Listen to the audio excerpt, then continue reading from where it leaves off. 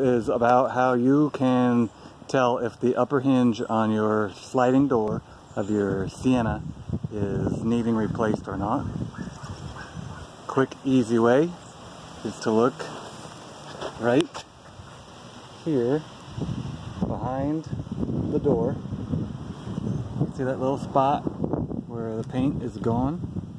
Because the door will start sagging and it'll start actually rubbing the paint off. I'll show you if I can get in here and you can see the hinge assembly here. There's very little gap between the hinge and the body. As you can see there, It's about an eighth of an inch. If you get any play in the bushings in this pin right here, the door will drop about an eighth of an inch and start rubbing the paint there.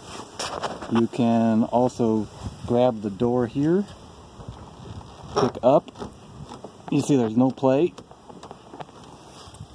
because I've changed the hinges already. There's videos already out there showing how to do that, so I'm not going to go into that. But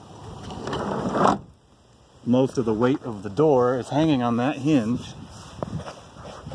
So I checked the other side, and uh, it was doing the exact same thing. The paint was gone. So I changed that one too.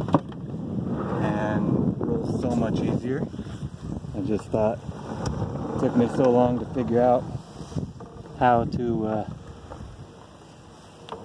discern what was rubbing that it might save some time for other people if they could see what I was seeing where the door just drops about an eighth of an inch is all it takes so if you're looking at buying one you should check that out first and make them fix it before you buy it or if you already own one you should look it doesn't take too much time to fix it, but that's my tip. Bye.